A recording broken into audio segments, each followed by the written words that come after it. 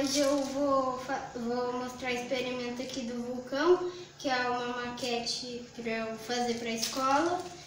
Eu vou primeiro colocar aqui o, o bicarbonato.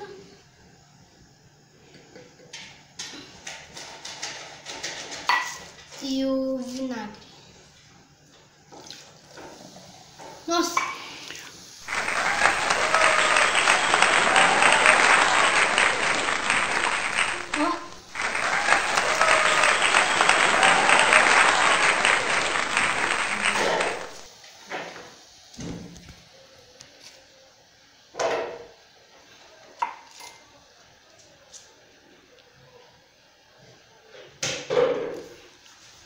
Foi isso.